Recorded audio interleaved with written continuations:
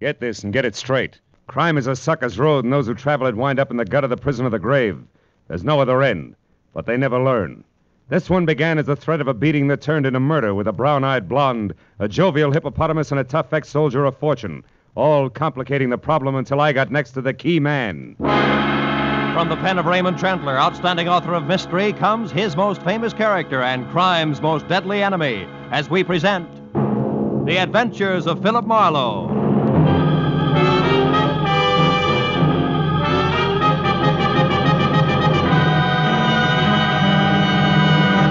Now, with Gerald Mohr, starred as Philip Marlowe, we bring you tonight's exciting story The Key Man.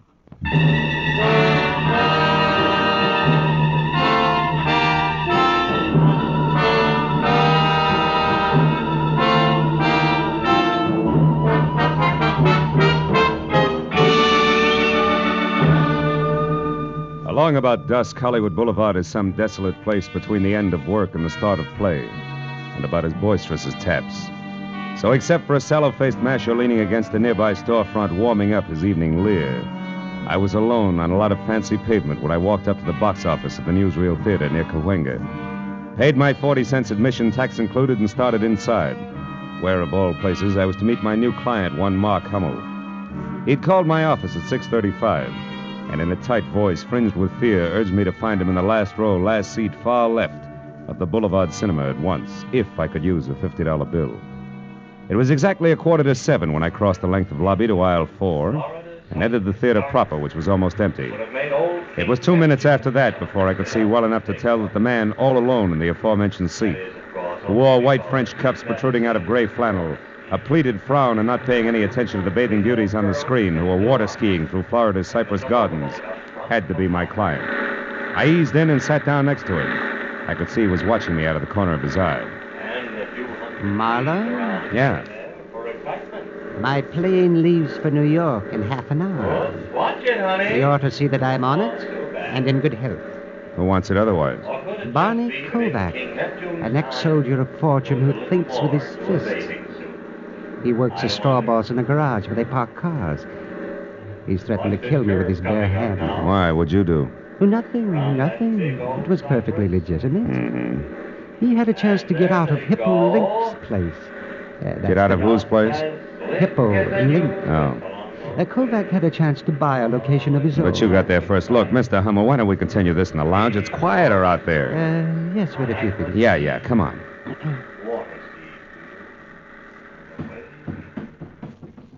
Oh, this is better. Now, come on, we can talk over here. So, uh, you beat Kovac out of the property he wanted. Then what happened? Uh, when he found out, he went crazy. he swore I bribed the real estate broker, high pressured the owner.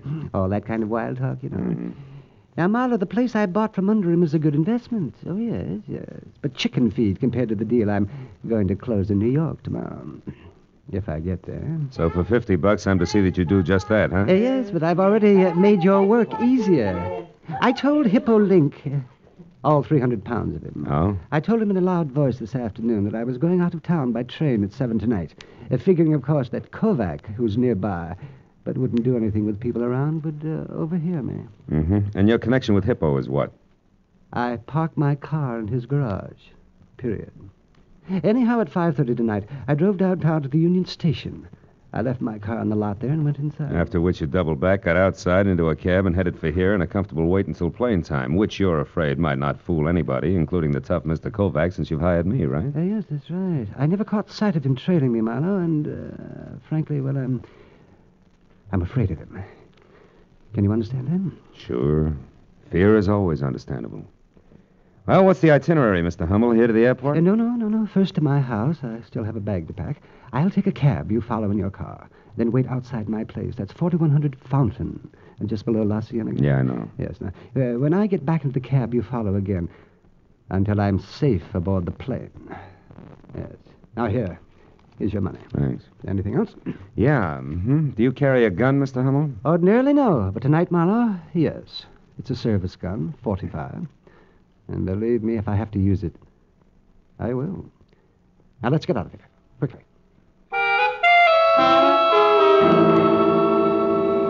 I was 20 minutes playing follow the leader up through Hollywood to Fountain Avenue as far as the neat cube of stucco that was number 4100, where I parked behind the taxi, lights out, and waited. Until I heard a frightened scream from what had to be Mark Hummel.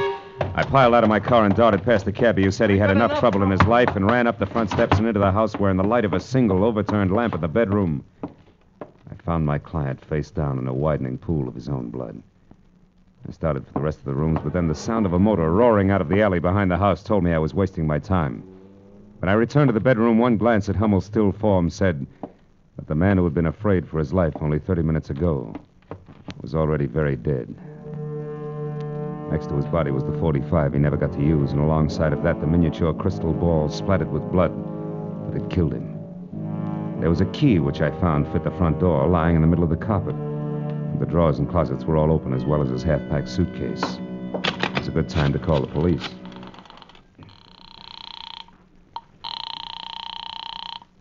Homicide, Detective Lieutenant Matthews speaking. Marlowe, Lieutenant. I'm at 4100 Fountain and standing next to a man named Mark Hummel who used to be a client. He's dead, Matthews, murdered. Oh, any idea who did it, Phil? Well, I got an idea it might be a lot of muscle called Barney Kovac who works in a garage on Santa Monica Boulevard. You sure it wasn't a robbery killing? No, you know, we've had a lot of second story jobs there about every three weeks in that neighborhood. I'm not sure of anything yet, but you see, I was high. Uh oh, company, Lieutenant. I'll catch up to you later. Mark, I. Oh, I beg your pardon. Is, is Mr. Hummel in? Yes and no. Did he expect you? Well, no, he didn't. Who are you? Philip Marlowe. Well, is Mark in or not? Yes, he's in. You'll find him in here, if you insist. Oh, thank you. I- I'm sorry I bit your head off, but what I have to. Oh, no. He's dead? Shot with that? No, no, that's his own gun. He was beaten to death with that glass ball there. Oh, That key is his, too. It fits the front door. I already tried it, and then I put it back when I found it, since the police appreciate neatness on the scene. but that doesn't make sense. Mark always carried his keys in a leather case. Oh? It should be right there in his right pocket. Yeah. Yeah, you're right. House key with a bunch of others, and, uh. Yeah, this one matches the one on the floor. How'd you know about this? I- I'm an old friend of Mark's, Marlowe. You'd have to be.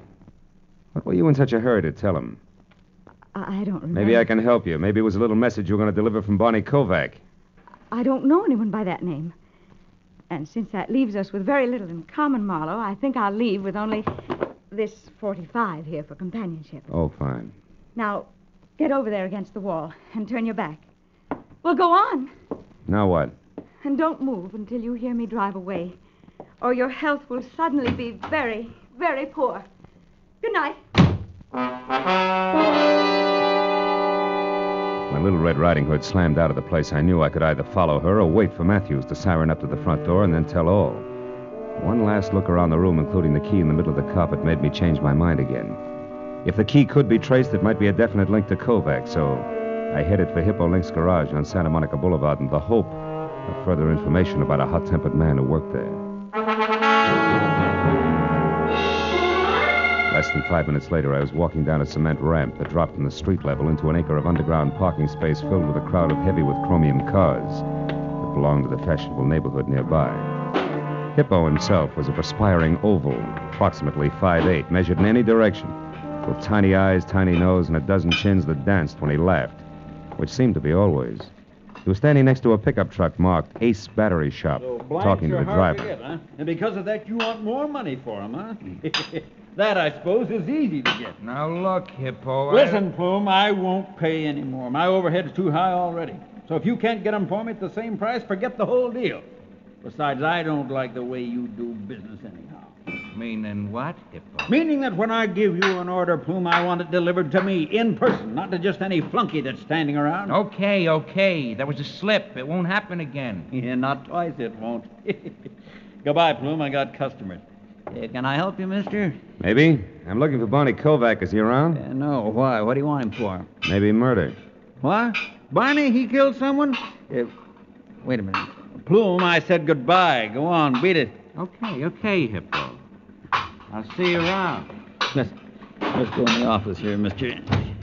A little quieter. Mm, Uh, sit down. thanks. You a cop? No, private detective. Name's Marlowe, Hippo. Marlowe, huh? Mm-hmm. Never heard of you. Yeah, but then, uh, I, I never heard of a lot of people, huh? Mm, that's right, Hippo. People like, for instance, Mark Hummel. Uh, why him, Marlowe? He was the one Kovac killed. Well, well, well. What do you know? Doesn't seem to break you up. Why should it? Hummel was a louse, Marlowe. Everybody said so. Of course, I didn't know him personally, except to joke with him when he brought his car in. You know, a little laugh goes a long way with some guys. Mm. Tell me, Hippo, did you know that Hummel was going out of town? yeah, he told me this afternoon. Should have gone yesterday, huh? Shut up. okay. Okay, so you don't like jokes. I can No. play it straight. What do you want? For an open of this. If a tall blonde with brown eyes and a pretty face who knows how to handle a 45 as well as conversation walked in here, would you know her? Am I? Could be Rhonda Beaumont, Barney's girl. She lives in a plush apartment over at 38 Sweetser Drive, just above the strip. How does she figure? Probably great in a Catalina swimsuit, but in this deal, I'm not sure. She might have put me on the right track by setting me straight about a key to Hummel's apartment that I found next to his body. It Wasn't his. A key? Hmm. Yeah, the design on it near the top, the round part was like a fancy figure eight. Mean anything to you? Not being a locksmith? No.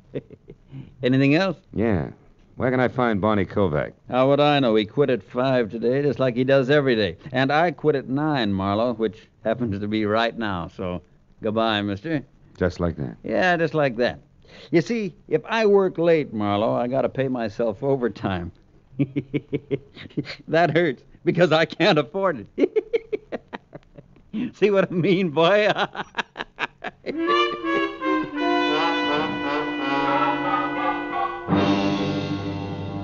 I was out on the street and behind the wheel of my car before I saw the man in the back seat who had a snub-nosed 38 leveled at my hairline.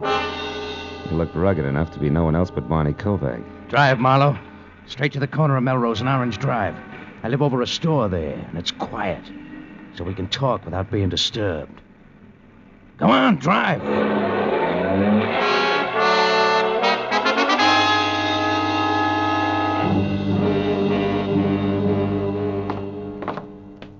Right ahead of you, Marlowe. One with a closed transom. Keep walking. And when I get there, Then you'll go inside, sit down, and rest while you listen. to what? To the truth, Marlowe. I've been following you long enough tonight to know that you're off your rocker. You see, fella, I didn't kill Hummel. Yeah, I know. He's double jointed. It was suicide. Slugged himself from behind. All right, cut was... it. Here, here's the key. Open up. Okay. Hey, you made a mistake, Kovac. Wrong key. What are you talking about? Let me see that. Sure. With pleasure. Stupid. Ha! Now that I got your gun, Bud, try it yourself. Come on, Kovac. Close quarters make me nervous. You're making a mistake, Marlowe. Yeah, yeah, sure I am. But guys who are off their rocker always do, remember? Now get over there in that chair and behave while I use your phone. Marlowe, don't move or I'll kill you. Hippo. Barney, take the gentleman's gun. It's heavy for him. Hmm, sure. Here, now, here, boy. Here's some money. Get clear of L.A. till this thing's all cleaned up. You're in a bad spot. I know, but I didn't kill Hummel, Hippo. You gotta believe me. Yeah, by all means. Barney, my boy, if you say it, I believe it. But others won't be that accommodating, I'm sure, so go on. And no matter what you do, don't worry about Marlowe. Huh? Nah, he won't be following you. you can count on that, Barney.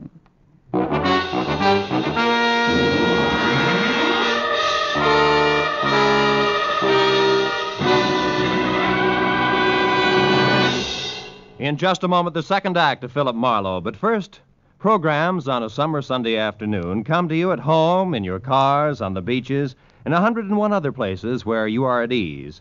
And for your leisure time listening, what is better than music? Every Sunday afternoon, CBS brings you two outstanding programs of music gems from the great composers played by the Symphonette, and the sweet, memorable songs of the outstanding modern composers and semi classicists sung by the Choraleers. Each program is designed especially for fine summer Sunday afternoon listening. Hear both the Symphonette and the Choraleers tomorrow afternoon on most of these same CBS network stations. Now, with our star, Gerald Mohr, we return to the second act of Philip Marlowe and tonight's story, The Key Man. The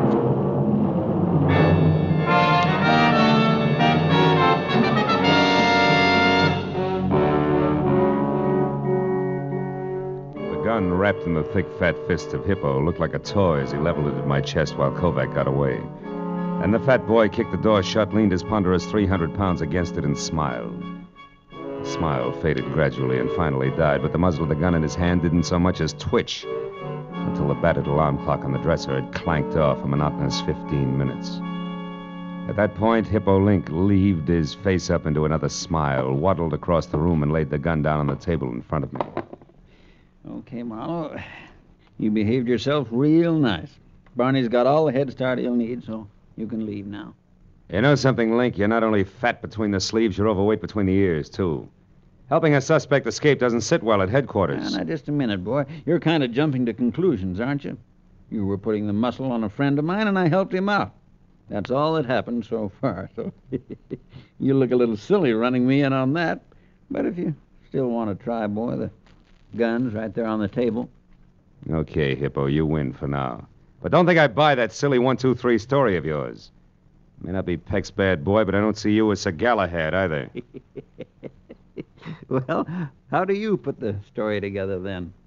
I don't know that that's any of your business, and even if I thought it were, I wouldn't tell you. But I'll let you in on this much. I don't know for sure that Kovac is guilty, but then I don't know for sure where you or Kovac's girl Rhonda Beaumont fit either. Mm, I wouldn't know. You said you knew her. So? You seem to think a good deal of that kid, Kovac. So? So couldn't it be possible she paid you to come up here and see that her boyfriend got away? like you said, Marlowe. I don't know that it's any of your business. How much cash does it take for you to stick your neck out as far as you have, huh?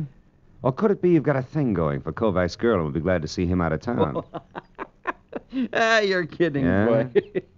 Look, why don't you leave it alone? What's it to you now? My client was knocked off right under my nose, remember? Now, you gonna let me out of solitary? sure. Pick up your pistol and run. and if you need me for any more help, why, be sure and let me know. I left Hippo standing in Kovac's flat, and downstairs I stopped in a phone booth long enough to have the latest developments for what they were worth relayed to Lieutenant Matthews. Then I drove out to where suites are turned straight up into the hills and parked in front of number 38, the Murrow Apartments. A terraced heap of pastel plaster and angled glass in which Rhonda Beaumont had a first floor front. I took a look at the large, private view of the city as I crossed the small, private patio and knocked on the substantial private entrance. When it cracked open, I helped it along just enough to step inside. Fast! Marlowe, you will come in, won't you, whether you're asked or not? Yes, and it's sweet of you to ask me, Rhonda. Is, um, is he here? He, Hmm. In a city of four million, half of which are male, that borders on being a stupid question. But the answer is no in any case, because until you strong armed your way in here, I was alone. I can't buy it. I figure Barney's the kind of a boy that would want to take stuff like you right along with him when he leaves. Bonnie leaving? Mm-hmm. What are you talking about? He's running away from that mess over on Fountain. He's leaving town. You're lying. I've heard enough from you. Uh-uh, Marlowe. I'll take the handbag, baby. Oh, you- Hmm. Heavy enough to have that cute 45 caliber compact inside, right? Okay, it's in there. Take it. I don't care. But look, Marlowe, is that the truth about Barney leaving town? As if you didn't know, yes. And while we're on that subject, why did you show up at Mark Hummel's place tonight? Well, I went there to warn him about Barney. Wait a minute, wait a minute. I thought you were in love with Kovac. I am. Do I have to draw you a picture? Barney Kovac's strong and reckless, but he was trying hard, awfully hard, to get started for himself, and then. Well, I, I used to go with Mark before I met Barney, and, and because of that, Mark deliberately beat him out of the best deal he'd ever had, the louse. Just to spite me. Well, Barney was furious, and I knew something terrible would happen if they ever got together, so. So I went to tell Mark to stay out of his way, that's all. You got there a little too late, is that it? I don't know. Well, at least give me a handkerchief out of my bag, Marlowe, darn it. yeah, sure. Here, I, um... Hey, hey, these keys. Rhonda, this one, the one with the figure eight design. Where'd you get it? Oh, it's my new door key. Yeah, I know, but where'd you get it? I don't know. Barney had it made for me one day while we were having lunch. Who's the guy who made it? I don't know. Where were you eating that day? Hungarian place on Fairfax near Santa Monica. Well, where are you going, Marlowe? Fairfax, near Santa Monica. Here's your bag, Rhonda, and if you got any sense, stay put and try real hard not to shoot anybody. At least until I call. Okay. So long, baby. Bye.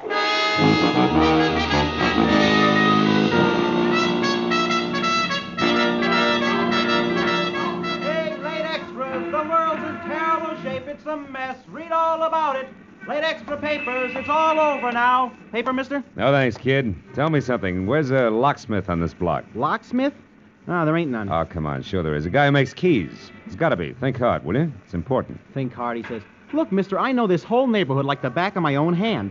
No key maker. Uh huh. Well, how about a guy who sharpens saws, scissors, things like that? No, nothing like that. Hmm. We got uh, filling stations, bars, a delicatessen, drugstore, shoemaker, dry goods store, three restaurants. One's Hungarian, that's on Fairfax. mhm. Ace Battery Shop there across the street, Battery a toy Shop. store on the corner, a Battery lampshade joint. shop. and an Wait a ice minute. cream- Hold it. Battery. Ace battery. Plume. Uh, uh, Plume. Yeah, yeah, that's it. Old man Plume owns the joint. Ah. A real sour apple, you know what I mean? Place is a dump, too, but he works hard.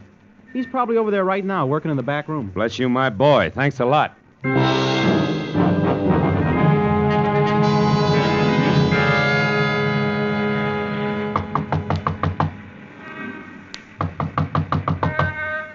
Who is it? Customer, my battery's dead. You got to help me. Now, look, mister, my place is closed up. Come back. hey, what is this? Sorry, Plume, but tomorrow's a long way off. This is an emergency. Now take it easy and you'll be okay. I got a job for you, and it's got to be done tonight. Well, listen, I said my place Shut up. Now get this, Plume. I'm a friend of Hippo Link's and Barney Kovac's, all of which makes you perfect for my job. Now, what kind of a job you talking about? This. It's a key. Duplicate it. A key. Hey, buddy, this is a battery shop. I can't make keys here. In the first place, you gotta have a license. I said this was an emergency, didn't I? Get busy. With what? My fingernails? I don't know how to cut keys. Somebody's stringing you, pal, and I. Plume, keep away from that drawer! Well, well, well, well. Whole drawer full of blank keys, huh? And that 38 in the drawer here must be that license you spoke of. Come on, you, get up. Wait, wait. Leave, leave me alone. I, I didn't do anything. Now listen, Plume. I want one straight answer out of you, fast. You made a delivery to Link's garage sometime today, and it wasn't batteries. Who'd you give it to? Come on. I, I, I left it with Barney Kovac. He, he was the only one around, but it was nothing, an envelope. Yeah, full of keys. Thanks very much for your help, Plume, but I'm in a hurry. And just so I'll be sure to see you later, good night. Ran out to my car, piled in, and headed straight out Santa Monica for La Cienega. And when I got within sight of the dark, cavernous entrance to Hippo Link's underground storage garage, I slowed down and looked for a phone that I could use to call Matthews and still keep an eye on the garage because the way things stood now, I couldn't afford to miss a lick. But then I got a break. I decided to try a mobile gas station on the corner when the scream of a siren shoved me up against the curb, and a squad car swerved out from a side street, ground to a rubber burning stop in front of the garage and disgorged Matthews himself and the driver on the double. I slammed out of my coupe and belted across the street after him. Matthews! Hey, Matthews! Marlowe, Marlowe, get back! Over this way. We got Kovac it down inside there. You're just in Now, wait a minute, wait a minute. Matthews, you got this deal all wrong. Oh, no, we haven't. I got two men out and back. He's trapped. We'll get him No, no, no. Hold everything, Matthews. Listen to me. I'm going down there and talk to him. Hey, I'll no, be no, back no. in a minute. Marlowe, Marlowe, come back here, fool! Kovac! Kovac, this is Marlowe. Come on out. I got all the answers now, Barney. I just had a talk with Plume, and I got a lot of truth out of him. Come on, Barney, you're not helping anything. Ow! Marlowe! Marlowe! Oh, oh. Phil! Phil, you all right? It's my shoulder, Matthews. Oh, I know this had happened oh. sometime. It... No. This Kovac over there. No, listen to me. Don't shoot. Oh, Don't!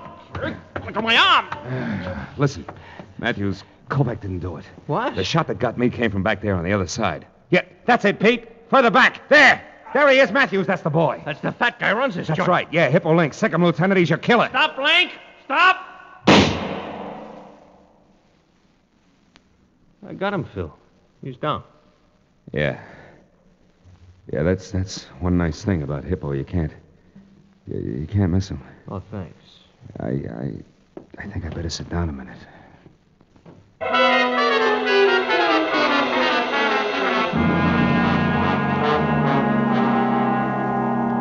Hello, Marlowe. You feeling better now? Oh, great, great. Yeah, you can't beat these hospital beds for comfort, Lieutenant. I'm getting one for my apartment. You can crank it into 30 different positions. You know that? Yeah, yeah, I know. The doc says you got off with a flesh wound. Ah. Yeah, you're pretty lucky, Phil. and I just stopped by to tell you they saved Hippo Link, so he'll have to be tried.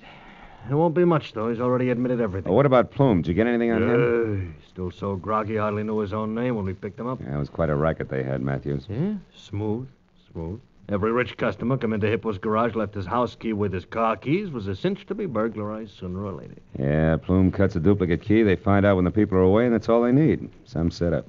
But sure backfired on them tonight. Hummel went to a lot of trouble to tell Hippo that he was leaving town at 7 just to throw Barney off his trail. But Hippo took it as a great opening for his racket. So Hummel came home right in the middle of the burglary, and Hippo had to kill him to get our way. That's it? Oh, by the way, Hmm? the friend of yours out here. Oh? I'll get him. Come on in, Barney. He's feeling fine. Oh, swell. Hi, Mr. Marlowe. Hi. I guess Rhonda and I owe you quite a vote of thanks. You owe me nothing but an explanation, Kovac. Why'd you run? Oh, I don't know. After the way I shot my mouth off about Hummel, I figured I was hooked for sure when he turned up dead. Once I started running, I couldn't stop. Kept getting worse. Yeah, it's exactly what Hippo figured. That's one I don't get, Marlowe. Why'd he help me in the first place? He had to, brother. Hippo knew that my best clue was an extra door key.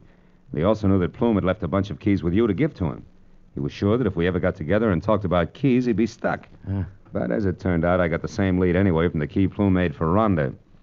Uh, hey, Matthews. Yeah. Crank me up in the middle, will you? Uh. What, like this, Phil?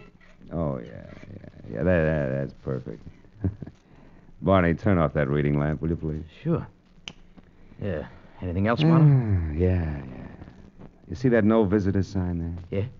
Well, just hang it on the door on your way out. I'm here for three days, fellas. I'm going to make the best of 'em. Good night, all.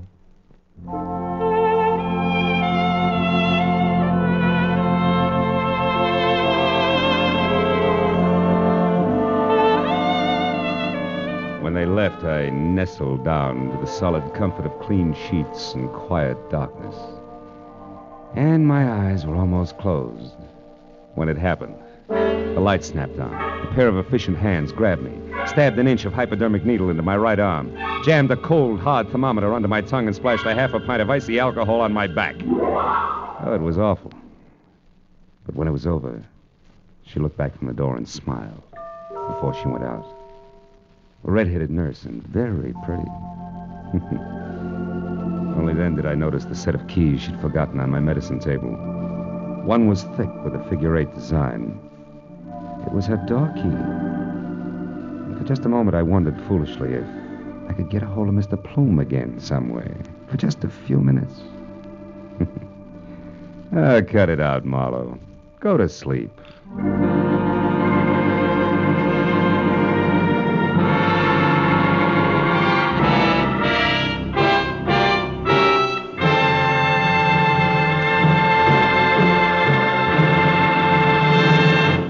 Adventures of Philip Marlowe, bringing you Raymond Chandler's most famous character and crime's most deadly enemy, star Gerald Mohr, and are produced and directed by Norman Macdonnell. Script is by Mel Dinelli, Robert Mitchell, and Gene Levitt.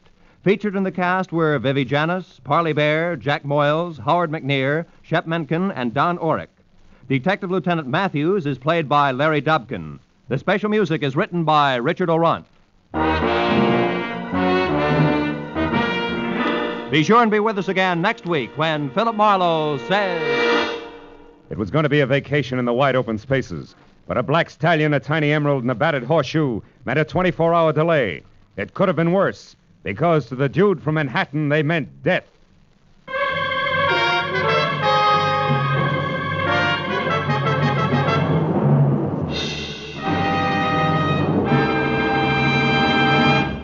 Most of us think we are free of tuberculosis. Yet, how many of us make sure with periodic chest x rays that we have no symptoms of this dread disease? Anyone can have TB without being aware of it. In the early stages, there are often no signs, and yet it is in this early stage when it is most important for the disease to be detected. So remember, TB can be cured if you catch it in time. Make an appointment for that chest x ray immediately. This is Roy Rowan speaking. Stay tuned now for Gangbusters, which follows immediately over most of the same CBS network stations. This is CBS, the Columbia Broadcasting System.